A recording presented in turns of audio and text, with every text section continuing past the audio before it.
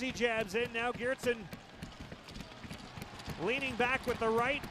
These two tangling up. These are two fighters who know what they're doing as they're pressed against the glass. Now Geertsen loses his helmet. And Geertsen, he's got Miller bent over his own bench, throwing rights before the linesmen step in. Mason Geertsen, they worked over right in front of the Iowa bench, and he had Brenden Miller bent over, leaning into his own bench as he